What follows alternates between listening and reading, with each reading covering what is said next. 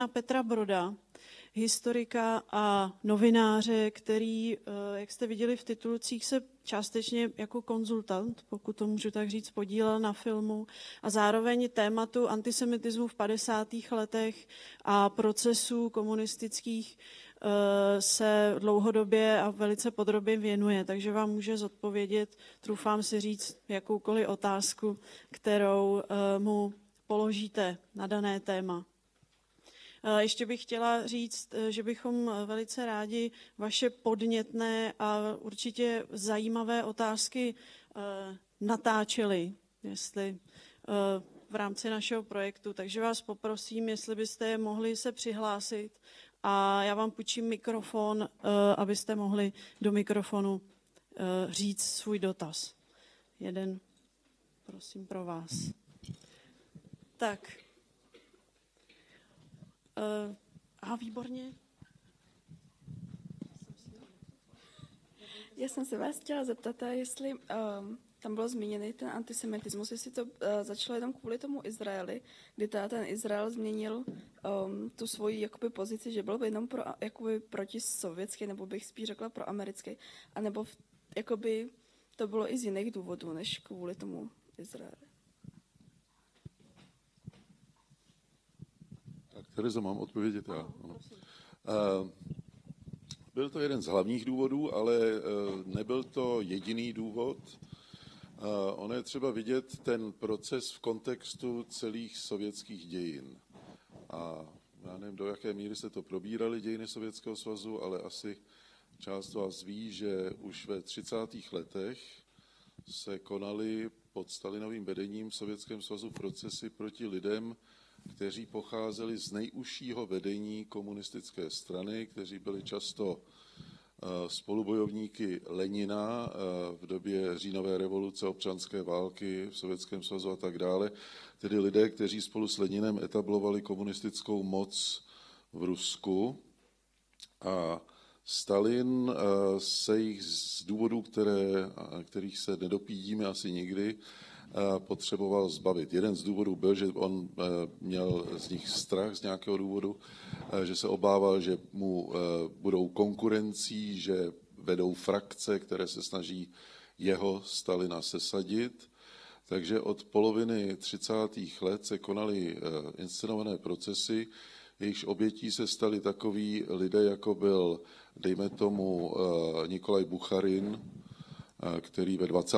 letech platil za takzvaného miláčka strany, tedy velice populárního bolševika, který byl zodpovědný za některé především hospodářské stránky sovětské politiky. Byl to člověk, kterého měl v úctě sám Vladimír Ilič Lenin jako vůdce bolševické revoluce. Obětmi těch inscenovaných procesů se stali třeba lidé jako Karel Radek, který byl jeden z hlavních zodpovědných za sovětskou propagandu v zahraničí. Cílem těch několika těch procesů byl vlastně jeden významný nepřítomný obžalovaný. To byl Lev Davidovič Trocky, který byl po říjnové revoluci v roce 1917 považován po Leninovi za druhého nejvýznamnějšího vůdce bolševické revoluce který byl zakladatelem například Rudé armády, z níž se později vyvinula sovětská armáda. Eh, Lev Trocký měl komplikovaný osud, eh, u něho si Stalin netroufal jej eh, v době, kdy s ním vedl ostrý ideologický boj, což už bylo od konce 20. let, postavit před soud. Napřed ho poslal do vyhnanství a později donutil odejít do zahraničí. Trocky prošel několika zeměmi, než zakotvil v Mexiku. A on byl takový, on byl na celém světě považován za jakýsi protipol Stalinovy autority v komunistickém hnutí a v Sovětském svazu. Jako ten možný, eh, jako takový možný protipol, okolo něhož by se mohla soustředit opozice, která by nakonec mohla Stalinovou krutovládu svrhnout.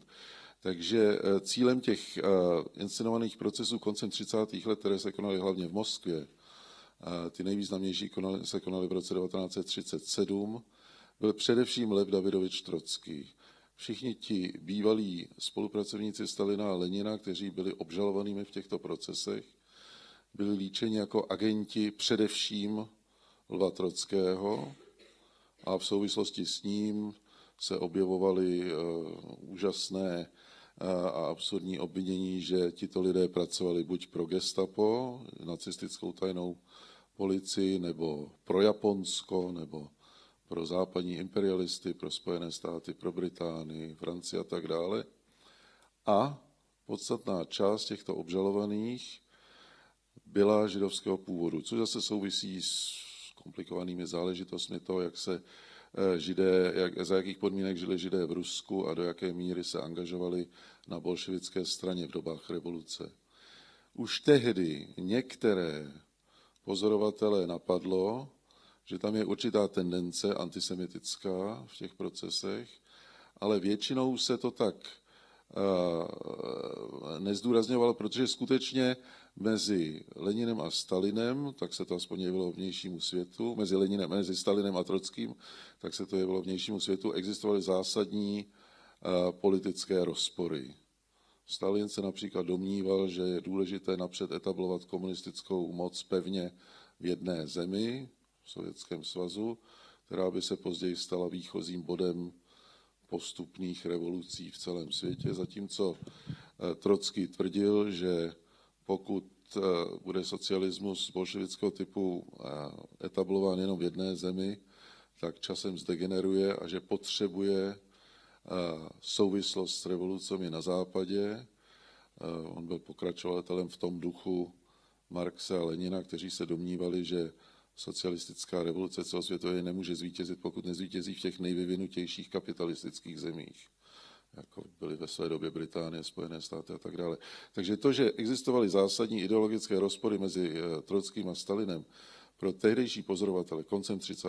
let trochu zastínilo to, že už tehdy bylo možno vystopovat v těch inscenovaných procesech v Moskvě určitou antisemitskou tendenci. Stalin byl velice komplikovaná, psychologicky velice komplikovaná osoba. On byl, měl zřejmě antisemické předsudky, ale vždycky se měl dostatečně pod kontrolou na to, aby se to nestalo jasným rysem jeho politiky. Já v té souvislosti připomenu, že třeba jeden z jeho nejbližších spolupracovníků byl, eh, byl bolševik, starý bolševik jménem Kaganovič, který zůstal až do, do Stalinovy smrti v politbyru, tedy v nejužším vedení Sovětského svazu, tedy i v dobách, kdy se konaly tyto inscenované procesy koncem 30. let v Moskvě a v době, kdy se konal proces s Rudolfem Slánským a spol v Československu začátkem 50. let. Tou dobou byl tedy tento židovský bolševik nadále členem politbyra. My také máme uh, takovou paradoxní situaci, že v Maďarsku třeba v té době, kdy se konal procese Slánským byli eh, hlavní představitelé komunistické strany židovského původu, jako generální tajemník Matyáš Rákoši, a zůstali jimi až do maďarské revoluce v roce 1956, do maďarského lidového povstání. Takže Stalin byl velice obezřetný v tom, jak používal antisemitismus, kam ho nasměroval, jak ho kamufloval, jak ho kryl, údajným bojem proti sionismu, tedy proti židovskému národnímu hnutí, které mělo za cíl etablování státu Izrael v Palestíně. A pro mnoho pozorovatelů, a tady se to nejvíc eh, třeba projevuje i v, tom, v té reakci Rudolfa Margolia. Vzpomeňte si, kde eh, Heda, jeho žena, mu říká, Rudolfe, jak to, že většina těch prominentních zatčených v poslední době jsou židé, nebo jsou židovského původu. A on říká, to se mýlíš, to nemůže být. Komunista nemůže být antisemita. I on, nad ním už se, nad ním už se jaksi schylovali uh, mraky a který potom na to výrazně doplatil, na ten antisemitismus, to prostě jako komunista nechápal, protože komunisté navenek alespoň uh, propagovali rovnost všech národů, uh, rovnost mezi lidmi, pokud to nebyli utlačovatelé, lidových mas, buržoazie a tak dále. Oni prostě eh, eh, nepojali rasismus za součást své oficiální ideologie, A proto i takový lidé jako Rudolf Margolius, kteří byli bezprostředně ohroženi tím stalinovým antisemitismem, to do poslední chvíle nechápali. Eh, řekl jsem to jasně, je to, je to to, na co jste se ptala? Určitě, moc děkuju za odpověď. Napadá někoho další otázka? Můžu někomu půjčit mikrofon? Jak zkoušela vaše kolegyně, nic nedělá, mikrofon je úplně hodný, tak se ho nebojte. Prosím. Já bych dotaz. A ohledně toho, jak se vlastně dnešní vyznavači té komunistické ideologie staví k těm procesům v 50. letech? Jestli je třeba popírají, jako neonacisti popírají holokaust, nebo jestli k tomu mají jiný stanovisko? Uh, tak to je samozřejmě trošku otázka na zástupce KSČM, kterým já nejsem, ale pokusím na to zodpovědět. Uh, v poslední době se to stává mimochodem, eh, klást takovou otázku se stává čím dál tím jednodušším, protože máme komunisty ve vedení různých krajů. Já momentálně zapomínám, jaká je situace zde v západních Čechách, ale v jižních Čechách máme takovou situaci, že tam máme Eh, koalici sociálních demokratů s komunisty a komunistka je zodpovědná za obor školství, takže v jeho českém kraji je to velice jednoduché se někoho zeptat, pokud hledáte eh, odpověď na tuto otázku. Eh, já bych řekl takhle, pokud znám komunistická prohlášení k té věci, oni se od těch procesů distancují. Distancují se také o těch procesů, o kterých jsem mluvil ve 30. letech v Sovětském svazu. A jejich argumentace je přibližně taková, ano, děli se špatné věci. V Sovětském svazu například se stali obětmi těch inscenovaných procesů věrní bolševici, kteří spolu s Leninem etablovali komunistickou moc v Rusku zde v Československu se stali obětmi lidé jako Rudolf Slánský, kteří přispěli k vítězství socialismu v Československu nebo vítězství komunistické strany v Československu. Ale to nebylo. Ale uh, musíme vidět celkovou, uh, celkovou uh, světovou situaci tehdejší. Teď mluvím jako komunista. No? Byly to, byly to velice vypjaté doby, v nichž byla ohrožena v případě 30.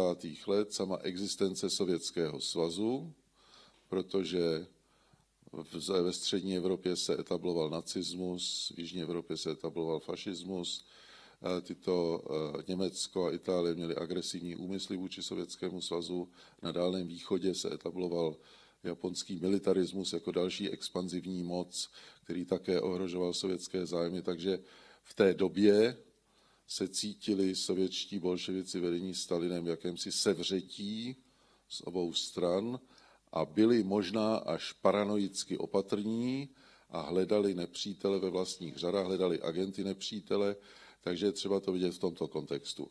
Něco podobného by k vám komunista řekl o začátku 50. let nebo konci 40. let, kdy už začínají přípravy procesu se Slánským. Já připomenu, že První eh, z těch později obžalovaných byl Evžen Löbel, který byl zatčen už v roce 1949, takže mluvíme o konci 40. začátku 50. let a to je doba vrcholící studené války.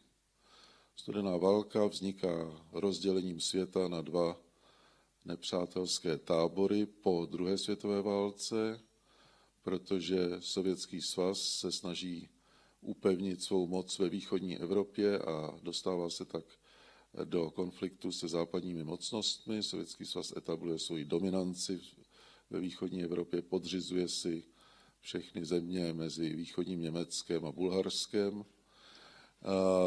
To vyvolává celosvětový konflikt, o tom něco už víte. Do toho ještě přichází vynález jaderné pumy a vodíkové pumy. Oba bloky jsou vyzbrojeny atomovými zbraněmi. Zdá se, že by mohlo dojít třetí světové válce. Několik horkých konfliktů už probíhá na různých místech, například občanská válka v Řecku, přibližně v letech 46 až 49, která byla vedena mezi komunistickými silami a oficiální demokratickou vládou. Zamíchali se do ní také Britové třeba, kteří dodávali zbraně té řecké vládě. Z Jugoslávie a ze sovětského bloku proudila pomoc pro řecké komunisty. Velice vypjatá situace byla v rozděleném Berlíně. Západní sektory Berlína obsazené Němci, Francouzi a Američany byly takovou enklávou uprostřed komunistického východního Německa a tam ta situace na hranicích mezi Západem a Východem byla také velmi výbušná. Takže v tomto světě, řekl komunista, se Československo ocitlo koncem 40. a začátkem 50. let a bylo přímo na frontové linii, tak říkajíc, protože sousedilo s několika západními zeměmi, tedy s Německem a s Rakouskem, a mohlo se stát jednou z prvních obětí eh, studené války, která by přešla ve válku horkou. Za té situace, říká dnešní komunista, který chápe Klementa Gottwalda a jeho vedení, musely být všechny orgány komunistické moci v Československu velice na pozoru, aby se do řad třeba ozbrojených sil československých nevloudili nepřátelé a že se to trošku s tím hledáním nepřátel přehánělo, ano, to by ten dnešní komunista přiznal, ale taková byla doba, by konstatoval. Byla to velice vyhraněná doba velkého mezinárodního napětí a jenom na pozadí toho lze z hlediska komunistů chápat ty inscenované procesy. Moc za odpověď. Můžu půjčit mikrofon dalšímu z vás? Já bych se chtěl zeptat, tam z tom dokumentu vyplynulo, že ty manželky těch obviněných byly většinou cizinky z nějakých západních mocností, tak jestli teda ty, co byly obvinění, byly původem Češi, nebo taky byli třeba nějaký cizinci a jak třeba jestli toho ten režim využíval, že měli manželky vlastně ze západních mocností. Tak uh, řekl bych, že moc toho nevyužíval, ty manželky nehrály žádnou roli přímo v tom procesu, ale ty manželky byly důsledkem toho, že ti manželé se dlouho nacházeli v emigraci, v exilu. Uh, to bylo částečně dáno tou španělskou občanskou válkou, která byla zmíněna, který se někteří obžalovaní účastnili, která probíhala v letech 1936 až 1939 a z Československa Eh, se jí účastnilo několik tisíc lidí. To nebyli všichni komunisti, to byli uh, sice převážně komunisti a levicoví socialisté, ale byli tam také někteří lidé, kteří smýšleli zcela demokratické, pro které obrana demokratické vlády ve Španělsku, proti níž povstala armáda nebo části armády vedené generálem Frankem, kteří chtěli ve Španělsku etablovat autoritární stát, pro tyhle ty demokratické síly to bylo něco, Eh, co je nutilo se angažovat ve Španělsku. Já se teď nebudu zabývat podrobnostmi té španělské občanské války, to je taky velice komplikovaná záležitost, do jaké míry třeba ti, kteří bránili ten demokratický systém ve Španělsku proti eh, eh, po tomu autoritářskému povstání generála Franka, které nakonec zvítězilo, byli sami demokraté, do jaké míry to bylo také to Španělsko bojištěm mezi bolševickým Ruskem a silami fašismu a tak dále.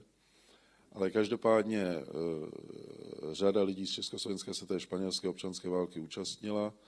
E, někteří z nich, e, jako Arthur London, manžel paní Londonové, kterého ona nazývá Gerard, jeho přezdívkou z, z francouzského odboje, se po skončení španělské občanské války dostali do Francie, kde byli částečně internováni po roce 1939, ale částečně pak propuštěni a mohli se také účastnit francouzského odboje proti nacismu.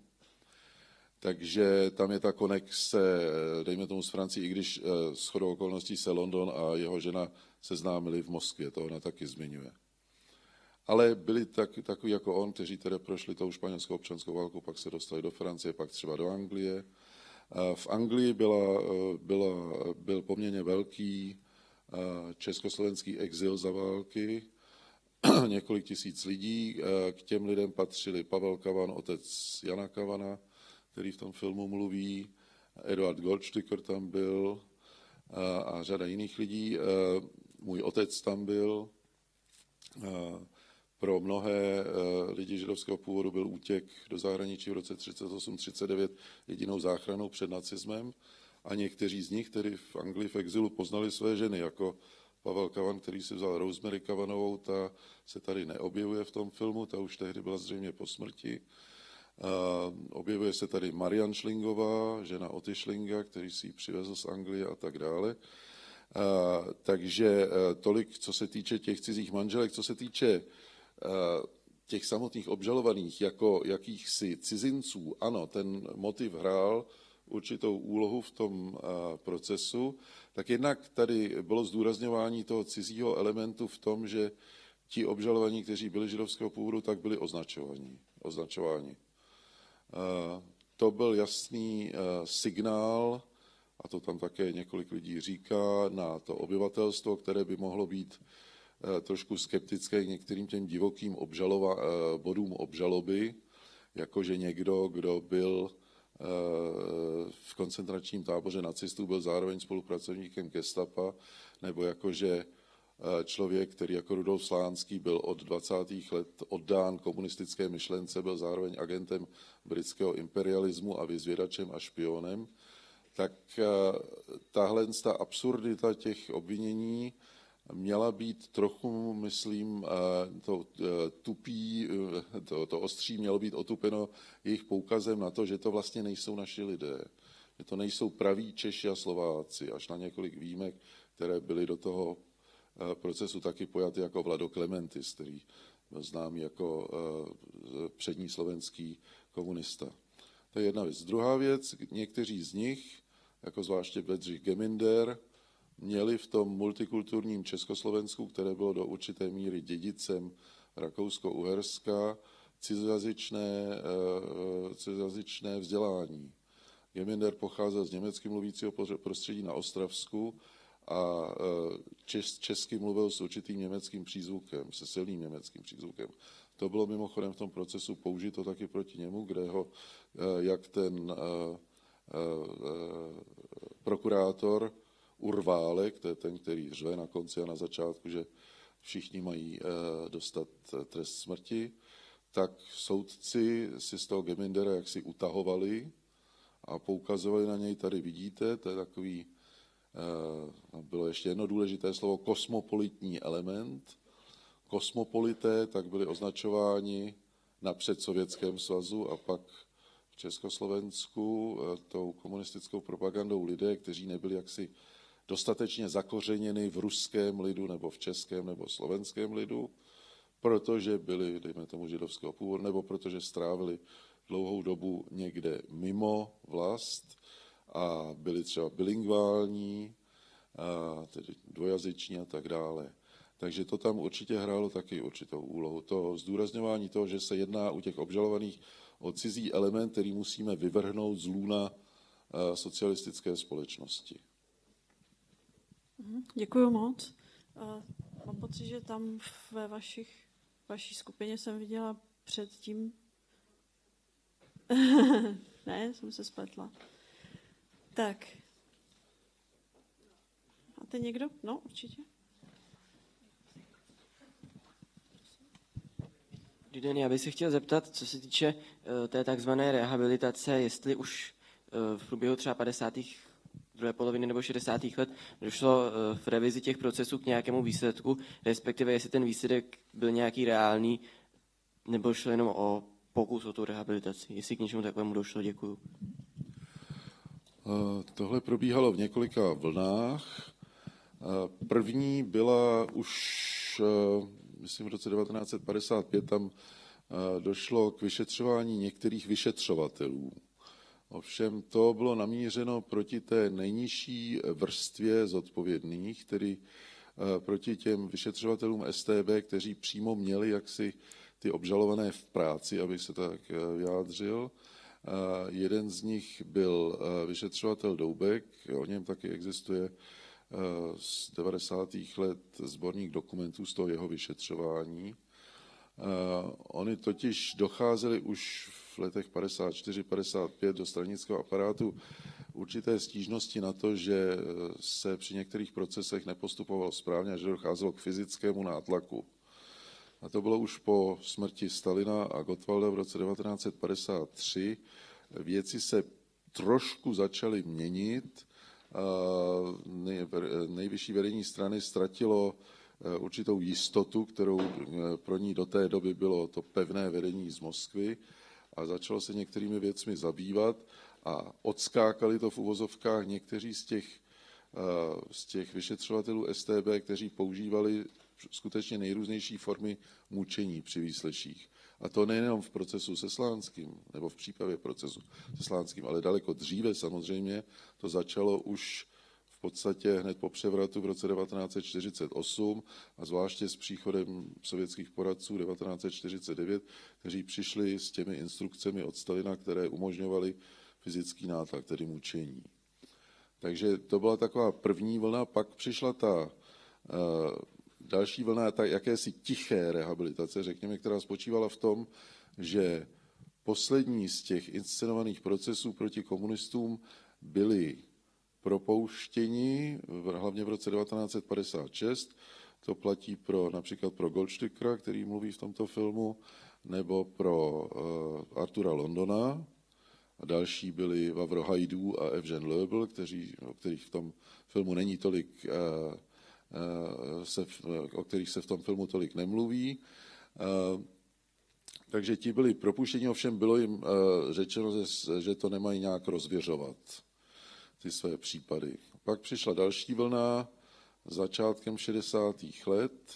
Bylo několik vnitrostranických komisí, z nichž nejznámější je možná takzvaná Pillerova komise, to Piller byl vysoký činitel aparátu ústředního výboru, který se eh, těmi věcmi zabýval, nebo jehož komise se těmi věcmi zabývala. Vyústilo to v roce 1963 v oficiální stranickou rehabilitaci těch obžalovaných.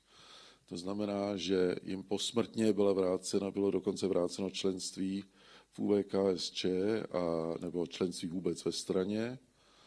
Ale bylo řečeno, nebyla ta rehabilitace stoprocentní, bylo řečeno, že se ve své činnosti dopustili mnoha chyb a že tedy eh, tyto politické chyby, kterých se dopustili, eh, eh, s tím nejsou jaksi prominuty. Ale že se jednalo o čestné komunisty, kteří se svým způsobem snažili přispět k výstavbě socialismu v Československu vědeckým tajemníkem jedné z těch komisí byl Karel Kaplan, který je zmíněn na eh, konci toho filmu, to je historik, který ještě žije, kterému je okolo 80 a který napsal několik zásadních prací o celé té době a těchto procesech. A pak přišel rok 1968, kdy se jak si uvažovalo o tom, že by se eh, strana měla v rámci takzvané demokratizace a eh, Pražského jara a tak dále ještě jednou k těm procesům vrátit ale jak říká jeden z těch posledních titulků v tom filmu, vzhledem k invazi sovětských a e, spojeneckých vojsk do Československa v srpnu 1968 a následné normalizaci už komunistické vedení nemělo sebe menší zájem na tom nějak se těmi procesy zabývat, i když paradoxně novým stranickým šéfem a, a později také prezidentem Československa se stal Gustav Husák, který se stal sám obětí jednoho z těch inscenovaných procesů, ovšem toho eh, jednoho procesu, který se konal už v roce 1950 nebo 51 proti takzvaným buržoazním nacionalistům na Slovensku. Ale prostě sovětské vedení tehdy, které eh, se vracelo v 70. letech k určitým eh, rysům stalinismu a které dokonce Stalina do určité míry rehabilitovalo, mimo jiné jako vojevůdce, úspěšného vojevůdce druhé světové války prostě nemělo zájem na tom, aby se ta minulost eh, dále nějak eh, zkoumala, zvláště proto, že svým způsobem to zkoumání minulosti právě v 60. letech přispělo vlastně k tomu, že došlo k o něm změnám v roce 1968, eh, kdy v Československu došlo k takzvané liberalizaci a sovětské vedení se bálo jakéhokoliv opakování takového vývoje.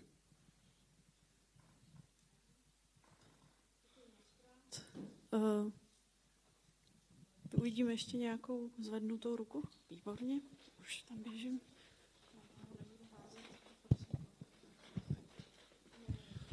Uh, tak já bych se chtěl zeptat, jaká je spojitost mezi tím, že ti lidé byli židé a proč vůbec židé jsou ta cílová skupina, vůči kterým vlastně jakoby nenávist ze strany soci, jako Sovětského svazu. A co vlastně způsobilo to, že ti lidé byli politicky či jinak vlastně nepohodlní v tom státě, protože zrovna židé byli ta cílová skupina. Tak no, to je velice zásadní otázka, na kterou bych mohl strávit několik hodin. Já se pokusím to stlačit do několika minut. Především je zde terminologická otázka, zda je máme vůbec za židy označovat. Oni, těch 11, těch 14 obžalovaných, kteří jsou v tom procesu označeni jako židovského původu, pocházeli z židovských rodin, ale mezi Židy od poloviny 19. století, kdy byli emancipováni, to znamená, kdy byly zrušeny poslední právní předpisy pocházející ještě z feudalismu, které Židy jako skupinu izolovali, které je činili nerovnoprávnou skupinou a tak dále. Takže v té, v té, v té, od té druhé poloviny 19. století, kdy Židé v našich zemích jsou rovnoprávnými občany, tak mezi nimi dochází k velké diferenciaci. Spousta lidí ze židovských rodin opouští židovskou víru, nebo už jsou jenom, co se týče víry, vlažní. Spousta z nich se identifikuje s českým národem, část se identifikuje s Němci, protože žijí v německy mluvících oblastech nebo eh, chodí do německých škol. Na Slovensku třeba se část židů eh, identifikuje spíše s maďarským prvkem na jižním Slovensku, eh, část židů se také přiklání k slovenskému národu a tak dále. A zvláště výrazný je ten odklon od židovství jako víry nebo, nebo etnické skupiny u lidí, kteří stojí politicky nalevo. Eh, protože ti prosazují, alespoň teoreticky, rovnost všech národností, vyznání a tak dále a zvlášť nejvýraznější je to u komunistů, kteří věří ve světovou revoluci a pro něž řešení židovské otázky, pokud ještě nějaká židovská otázka v té tehdejší společnosti existuje, nemá prioritu. Pro ně je to hlavní svržení vlády buržoazie nad proletariátem, jak oni to vidí, ze společenštění nebo znárodnění všech prostředků, eh, všech eh, prostředků produkce, kolektivizace zemědělství a tak dále a tak dále. To jsou jejich priority. To, že pocházejí židovské rodiny, pro většinu z nich nehraje sebe menší úlohu, zvláště tedy ve střední Evropě. V Rusku je to zase poněkud jiné, protože v Rusku existuje masa židů, kteří vlastně mluví vlastním jazykem, jidiš, mají vlastní kulturu a to brala sovětská politika alespoň ve 20. letech v ohled ale tady jsou ty poměry takové, že takový člověk jako Rudolf Slánský, který pochází z česky mluvící židovské rodiny na českém venkově, už nepocituje žádnou vazbu k tomu židovství svých eh, rodičů nebo prarodičů. Ti rodiče jsou tím ještě poznamenáni. Slyšeli jsme, že byli deportováni nacisty do koncentračních táborů a zahynuli. Stejně tak jako širší příbuzenstvo. Ale Rudolf Slánský a jemu podobní prostě z toho židovského původu pro sebe pro svůj život nevyvozují žádné důsledky. Jsou to lidé mezinárodně orientovaní, cítí se jako Češi nebo Slováci a propagují komunistickou revoluci a pracují pro ní. Pro ně bylo stejně tak jako pro Rudolfa Margolia právě velkým překvapením to, že ještě v 50. letech někdo z toho jejich původu dělal nějakou významnou věc. A to prosím jak říká zase Goldsticker v tom filmu, šest let po Hitlerovi, který dělal tažení proti všem židům, který způsobil obrovskou genocídu židů, jemuž padlo za oběť přibližně 6 milionů židů ze střední a východní Evropy. Pro ně to prostě bylo nepochopitelné, že to hnutí, ke kterému se hlásili, mohlo z něčeho takového dělat nástroj proti nim. Proč se tak dělo? No, jeden z možných důvodů je, že při tom hledání toho vnitřního nepřítele ve straně se ten okruh nepřátel dal poměrně dobře vymezit například tím kritériem, že by to měli být lidé židovského původu nebo lidé, kteří byli za války na západě a mohli tam načichnout nějak imperialistickými móresy, nebo se mohli dát do služeb západních eh, špionážních eh, organizací, nebo to byli lidé, kteří se účastnili španělské občanské války. Slyšeli jsme zase v tom filmu Marian Schlingovou, jak poukazovala na to, že její muž Ota Schling spadal do všech třech těchto kategorií. Takže takovéto, tyhle ty skupiny lidí v, z pohledu Stalina byly těmi nejnebezpečnějšími potenciálními nepřáteli uvnitř komunistické strany. A k tomu se pak ještě přidal koncem 40. let jeden prvek, a to je existence státu Izrael a jeho zahraničně politická orientace. Ale i samozřejmě vnitřní pořádky. A poměr Sovětského svazu a Izraele má velmi zajímavou prehistorii, kterou jsem se zabýval, ale kterou se tady teď nemůžu z časových důvodů zabývat. Každopádně to bylo tak, že bolševici dlouho kritizovali židovské národní hnutí, sionismus, které se snažilo eh, v Palestíně etablovat židovský stát jako nástroj západního imperialismu, především britského, a až do druhé světové války k němu měli zamítavý postoj. Sionisté byli v Sovětském svazu pronásledováni, zavíráni, posíláni na Sibiř a tak dále. Ta situace se začala měnit za druhé světové války, protože Sovětský svaz, když eh, ho nacisté přinutili vstoupit do války svým útokem v roce 1941, potřeboval mezinárodní pomoc a Stalin správně počítal s tím, že teď, když jsou Sověti a Spojené státy spojenci v boji proti nacistické říši, a když jsou také spojenci Británie a Francie a tak dále, tak by bylo důležité mít poměrně dobré styky s vlivnými židovskými kruhy třeba ve Spojených státech, protože šlo o to, jak získat co největší materiální pomoc pro sovětský boj proti nacismu. A Stalin tehdy udělal určité ústupky v tom smyslu, že třeba zřídil takzvaný eh, sovětský antifašistický výbor židovský, který eh, jeho členové jezdili po Spojených státech a snažili se sbírat eh, materiální pomoc pro Sovětský svaz. Stejně tak eh, Sovětský svaz navázal určité kontakty k sionistům v Palestíně a to všechno se pak zúročilo těsně po válce, když se otázka budoucnosti Palestíny a jejího případného rozdělení na židovský a arabský stát dostala na půdu Organizace spojených národů. A k překvapení mnohých Sovětský svaz začal zastávat poměrně pozitivní postoj k rozdělení Palestíny v roce 1946 a v roce 1947, kdy došlo k hlasování v Organizaci spojených národů o tom, zda má být Palestína rozdělena a zda tak má vzniknout židovský stát eh, v Palestíně a zároveň paralelně s tím arabský stát, což je, jak víte, motiv světové politiky až do dneška. Eh, tak tehdy se eh, Sovětský svaz přidal na stranu těch, kteří ten návrh rezoluce schválili, čímž vlastně se stal jedním z kmotrů vzniku židovského státu v Palestíně. Tento postoj si Sovětský svaz zachovával přibližně dva roky, 47 až 49, a když v květnu roku 1948 ten židovský stát skutečně vznikl v Palestíně, tedy stát Izrael, tak Sovětský svaz byl první, který ho diplomaticky uznal. Jak je také řečeno v tom filmu, myslím Janem Kavanem nebo Eduardem Goldstückem, Stalin si tehdy zřejmě představoval, že tento židovský stát v Izraeli, eh, Izrael bude jakýmsi předpolím sovětského bloku na Blízkém východě.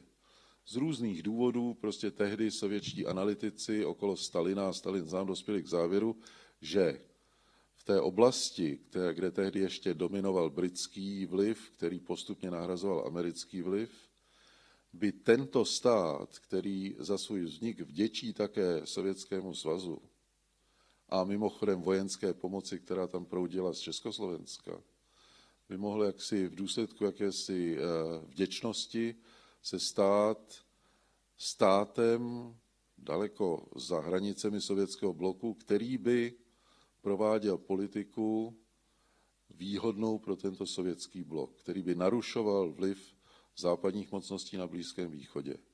Jenže, a to už je, to je v tom filmu taky řečeno, Izrael k tomu neměl sebe menší vůli.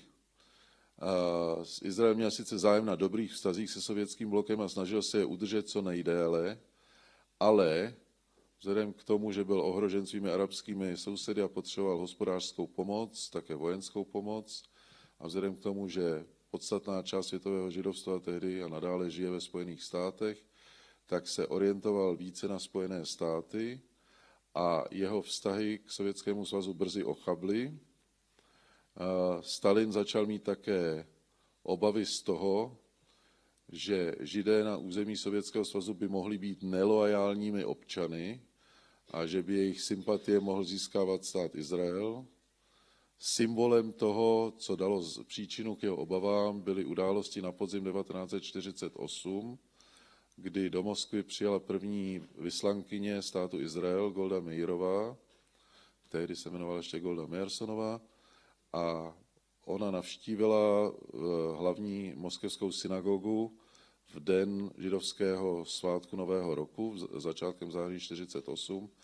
A okolo té synagogy se schromáždilo několik tisíc ruských židů, aby pozdravili tuto vyslankyni židovského státu a nadšeně ji vítali. To byla jediná skutečně spontánní demonstrace v Moskvě, která se konala v té době, v těch 40.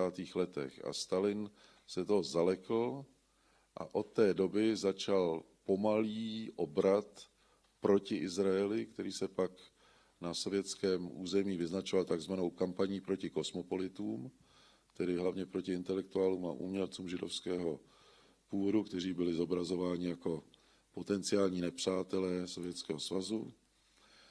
Postupně se ochlazovaly mezi, mezistátní vztahy mezi Sovětským svazem a Izraelem. Stalin nikdy tehdy nepovolil emigraci židů ze Sovětského svazu do Izraele a jedním z nejvýraznějších, jedním z nejvýraznějších výsledků tohoto z toho obratu byl právě ten pražský proces s Rudolfem Slánským a spol, kde se Stalin vůči arabskému světu jaksi zbavil odpovědnosti za to, že přispěl k etablování státu Izrael, k etablování židovského státu, protože velkou úlohu v té obžalobě, na to tady nebyl čas v tom filmu, hrálo to, že Československo poskytovalo vojenskou a materiální pomoc nově vzniklému státu Izrael, což ovšem v tomto procesu bylo líčeno jako jakási soukromá činnost takových lidí, jako byl Slánský, Geminder, Margolius a tak dále, kteří toto prováděli na vlastní pěst, co by agenti západního imperialismu. Takže Stalin a Gottwald jaksi potom byli nevinní v tomto smyslu a mohli se prezentovat Arabům jako přátelé jejich věci, jako nepřátelé sionismu, kteří byli jaksi podvedeni těmi agenty slánským a tak dále, i když ve skutečnosti vše, co se dělo ve věci té diplomatické, hospodářské a vojenské pomoci Izraeli, se dělo se schválením Moskvy a Stalina původně. Moc krát děkuju. Eh, já bych jenom doplnila k tomu překvapení, že se komunisté zase staví a využívají vlastně antisemitismus. Existuje eh, povídka napsaná spisovatelem Otou Pavlem, jmenuje se Běh Prahou. Vyšla v několika jeho sbírkách povídek a je možné ji nalézt taky na internetu, která právě tohleto překvapení těch přesvědčených komunistů, myslím si, krásně vystihuje. Tak, děkuju. Něk, někdo máte dotaz na pana Broda? Já bych se chtěla ještě zeptat k tomu filmu. Mě tam zaujalo, jak vlastně i ty, co, i ty, co byly v tom procesu, tak když viděli vlastně ty manželky, tak první, co řekli, jako že ten názor k té straně nezměnili. A mě by právě zajímalo, jak jakoby oni si tedy jakoby představovali, že ta strana, jakoby, bych skoro řekla, vydala, jakože jestli si pořád jakoby nemysleli, že, že ta strana je jako podporuje, nebo já jako nedokážu moc dobře pochopit, tak oni si jako vysvětlili tohle v určitý staně. Tak tak to je zase velmi složitá otázka. Je to otázka individuální psychologie nebo masové psychologie někdy, víry, ideologie. Ono tam je řečeno v jednom bodě, že bolševismus se, nebo komunismus se pro mnohé ty přívržence stal jakousi náhradní, jakýmsi náhradním náboženstvím.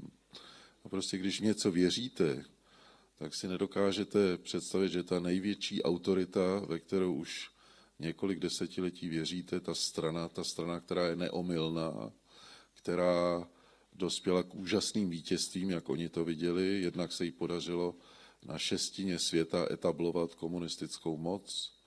Podařilo se jí odolat náporu nacismu a fašismu a japonské, japonského imperialismu a tak dále. Že tato moc, ve kterou věříte, která podle vás je určující pro budoucnost lidstva, náhle vás zavrhne. Takže si to začnete nějak racionalizovat, vysvětlovat. Někteří si to vysvětlovali tak, že došlo prostě k nějakému omylu, který se postupně vysvětlí. Někteří si mysleli, že je to důsledkem toho, že do strany se vloudili nepřátele. Takže ti, kteří byli označováni za nepřátele strany oficiálně, si zase naopak mysleli, že se stali obětmi nepřátel ve straně, kteří to všechno zinscenovali, aby se jich těch opravdových komunistů zbavili. Když, myslím, že to najdete v Londonově knize Doznání, on, když ho přijdou zatknout ti muži v dlouhých kožených pláštích, tak si myslí, že třeba došlo k nějakému protikomunistickému převratu a že on, věrný komunista, je nyní nějakými zločinci dopravován do buržoazního vězení nebo co. Až tak daleko zacházeli. A někteří zase po dlouhém zpracování v, těch, v tom žaláři, když byli mučeni a když na ně byl vykonáván zároveň psychologický nátlak, uvěřili některým svým vyšetřovatelům, kteří jim říkali, podívejte se, strana ten proces potřebuje. My žijeme v obrovském napětí, každou chvíli může začít druhá, třetí světová válka. Strana se musí semknout, no a některé lidi to halt rozdrtí, ten, ta potřeba toho semknutí. Když se přiznáte, tak pro, pro, prokážete straně tu poslední službu, kterou jim můžete prokázat. Je vaší povinností, jako pokud se považujete za komunisty, se přiznat, protože strana to vaše přiznání potřebuje.